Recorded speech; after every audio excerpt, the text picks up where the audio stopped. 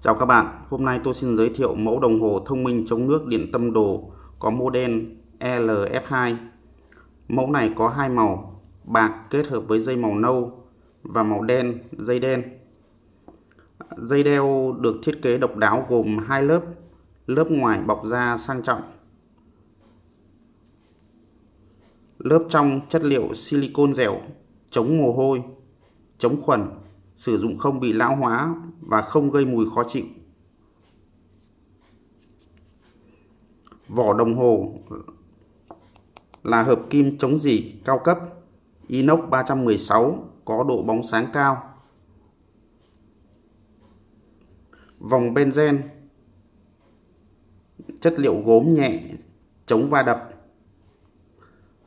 Mặt lưng có hai tấm kim loại dùng để đo điện tâm đồ. Mắt quang học đo nhịp tim huyết áp nồng độ oxy trong máu, đo chất lượng giấc ngủ. Có chấu sạc, dùng chấu sạc 5 châm. Khi chúng ta đặt chấu sạc vào đây nó sẽ hút và chúng ta sạc. Đồng hồ này có khả năng chống nước cao, thời gian sử dụng cao 5 đến 7 ngày. Mặt đồng hồ cảm ứng toàn màn hình không có điểm chết. Toàn màn hình, bất kỳ một điểm nào trên màn hình là chúng ta chạm vào, nó cũng sẽ là cảm ứng giống như điện thoại.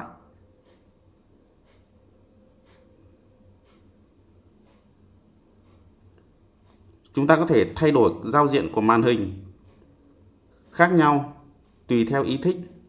Ví dụ như đây là màn hình tôi đang chọn, tôi có thể chọn màn hình khác bằng cách giữ màn hình, nhả ra, sau đó chuyển sang các màn hình mình yêu thích.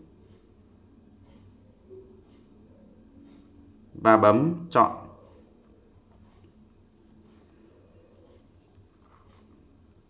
Chức năng à, trên đồng hồ khi thao tác trên đồng hồ chúng ta có thể chọn các chức năng à, vuốt trái thao tác là vuốt trái vuốt phải để chọn các chức năng vuốt lên vuốt xuống.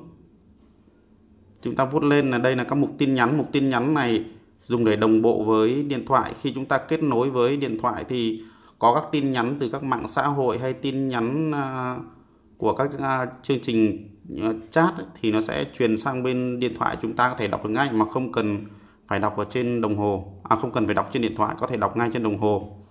Khi có thông khi có cuộc à, gọi đến ấy, thì nó sẽ hiển thị tên người gọi đến đây. Chúng ta có thể từ chối luôn cuộc gọi ngay trên mặt đồng hồ mà không cần phải sờ vào điện thoại. Ví dụ như là khi có người gọi đến thì chúng ta chỉ cần bấm giữ tay trên mặt đồng hồ một lúc thì là tự động nó sẽ ngắt cuộc gọi nó từ chối cuộc gọi. À, chúng ta xem qua các chức năng chính. À, chức năng thứ nhất là chức năng thể thao. Chức năng à, tiếp đến là à, heart rate này là đo nhịp tim. Blood pressure này là chức năng đo huyết áp. À, blood oxygen chức năng đo nồng độ oxy trong máu. ECG này là chức năng đo điện tâm đồ. Message này là chức năng đọc tin nhắn từ đồng hồ, à từ điện thoại. Sleep này là chế độ theo dõi chất lượng giấc ngủ. Sport này là chế độ thể thao thì trong sport này có nhiều môn thể thao các bạn chơi môn nào thì các bạn chọn môn đó bấm và giữ thì sẽ chọn vào chơi. Um, đồng hồ đếm giờ và đồng hồ là um, đồng hồ này thì có thể thay đổi chế độ ánh sáng khác nhau chúng có thể tăng giảm ánh sáng theo ý thích File phone là chế độ tìm điện thoại bấm vào đây thì điện thoại của chúng ta sẽ kêu lên, chúng ta biết là điện thoại chúng ta đang để ở đâu. System là hệ thống. Thì trong này chúng ta có thể nhìn thấy đây là cái modem này LF2 nó hiển thị rõ đây. Đó. Chức năng à, phím tắt, shutdown là tắt máy. Trên dial là chức năng thay đổi giao diện.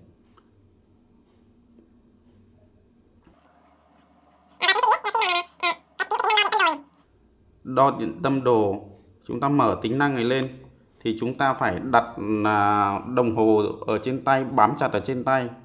Đó, sau đó chúng ta để ngón tay chúng ta giữ để cho nó đo. Thì nó đo khoảng, nó đếm thời gian khoảng 30 giây thì nó mới ra kết quả.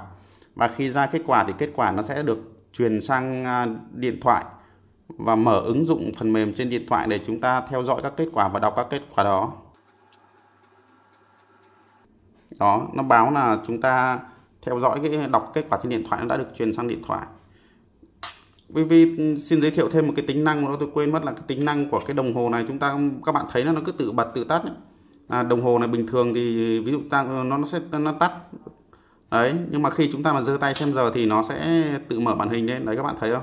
Nó rất tiện lợi dùng để nó sẽ tiết kiệm được rất là nhiều điện năng để cho chúng ta sử dụng lâu dài.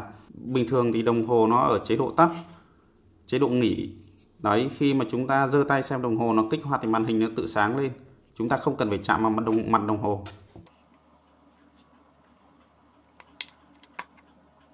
sau đây xin à, giới thiệu với các bạn cách à, kết nối với điện thoại bằng phần mềm à, chuyên dụng của nó là phần mềm Fit Cloud Pro. Chào các bạn, à, tôi xin hướng dẫn các bạn cách à, cài đặt phần mềm Fit Cloud Pro để kết nối với ờ, đồng hồ thông minh EF LF2.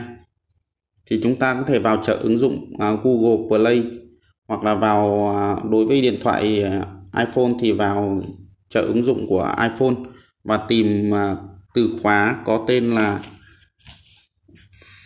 Fit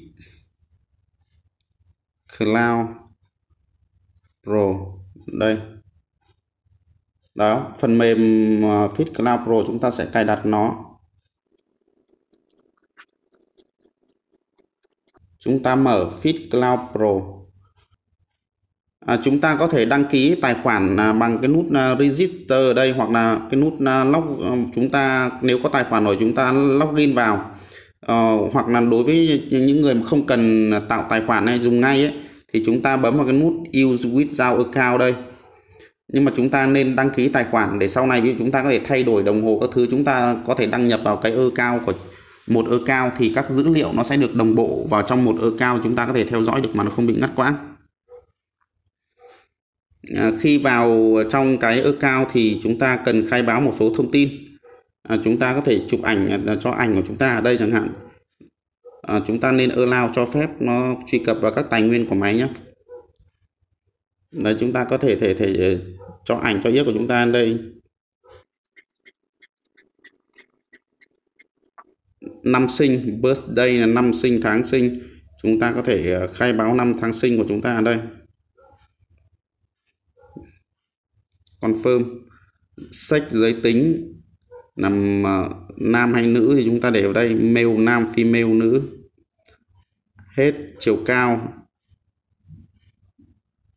Weight cân nặng các thông tin cá nhân này để sau này nó sẽ đánh giá tình trạng sức khỏe của chúng ta sau đó chúng ta ấn next và trong này nó yêu cầu các chế độ à, à, về về chúng ta thiết lập các chế độ mục tiêu ấy.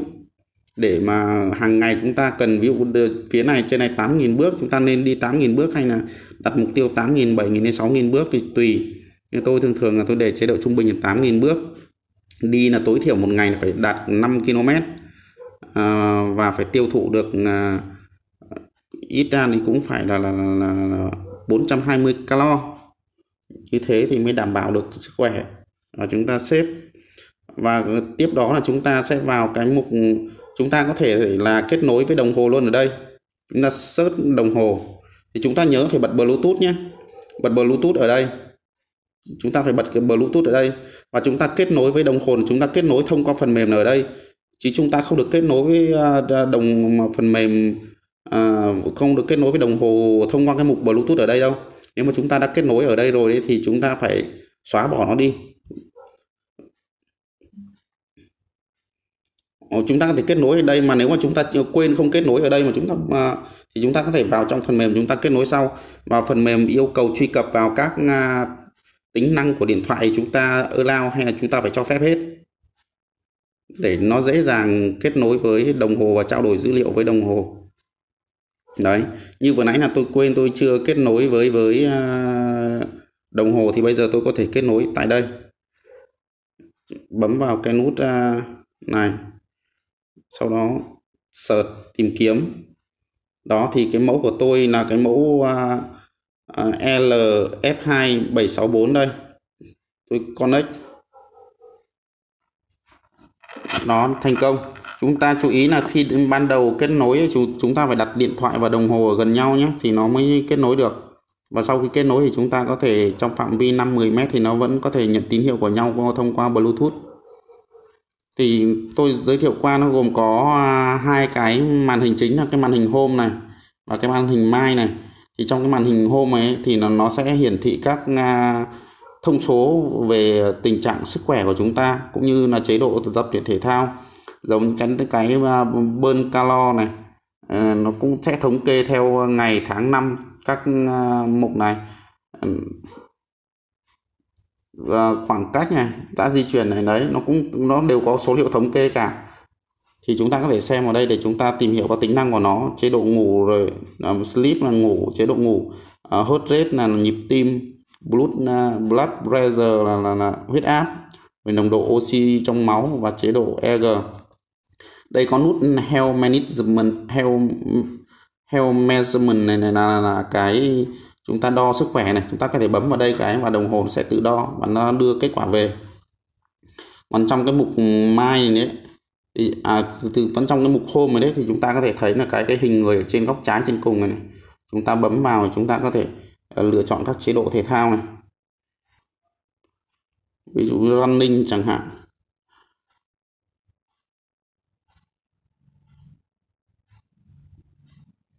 Đó, khi running thì nó sẽ ờ, khi chúng ta chạy thì nó sẽ hiển thị các thông số ở trên này. Ờ, tốc độ quãng đường, thời gian calo đốt cháy. Và đặc biệt là nó có cái bản đồ ở phía góc phải bên dưới. Chúng ta có thể mở bản đồ lên để chúng ta thấy được cái quãng đường của chúng ta đi như thế nào ở bản đồ này.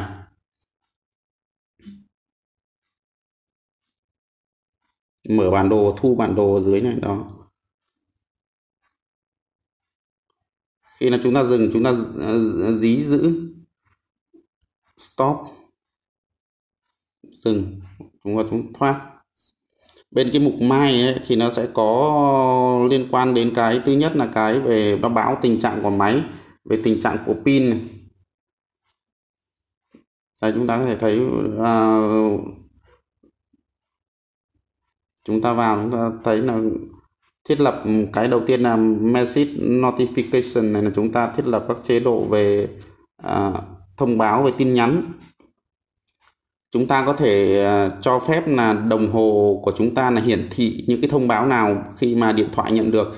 À, ví dụ như cái thứ nhất là cái cuộc gọi cái này tôi luôn để cái tin nhắn SMS là tôi cũng luôn để còn ngoài ra các tính năng khác như WeChat, Facebook các thứ thì tôi không để vì để nhiều quá nó thông báo nhiều liên tục nó cũng thứ nhất là tốn pin với thứ hai là tôi cũng ít quan tâm đến những cái vấn đề đấy. Và cái sit Alert này là cái uh, cái cái tính năng là là à, là là um, nhắc nhở vận động. Khi chúng ta mà lười vận động ấy, thì nó sẽ nhắc nhở chúng ta là phải vận động. Đến thời gian vận động thì nó sẽ nhắc chúng ta cái à, drink water alert này là cái chế độ nhắc nhở uống nước. Để chúng ta có bật hay không là tùy chúng ta thôi. Và nó có nhiều các tính năng khác thì các bạn có thể theo dõi ở đây nó có nhiều tính năng. Đó và đây trong này nó cũng có nhiều tính năng thì các bạn có thể tham khảo các bạn uh, nghiên cứu nhé vì mình cũng không không không thể đi vào chi tiết hết được. Mình chỉ à, hướng dẫn các bạn cách kết nối và có một số trường hợp nào, ví dụ bảo là tại sao lại không kết nối được? Là nguyên nhân là do các bạn là kết nối với với à, đồng hồ, với điện thoại thông qua cái mục bluetooth này của điện thoại này. mà chúng ta lại không không kết nối thông qua cái phần mềm kết nối qua đây. Thì khi cái, nếu mà chúng ta mà kết nối ở đây, chúng ta phải xóa nó đi, phải forget nó đi thì mới được. Nếu mà các bạn mà mà mà không kết nối được thì các bạn có thể inbox cho mình mình sẽ à, tháo gỡ cho các bạn. Rồi, cảm ơn các bạn.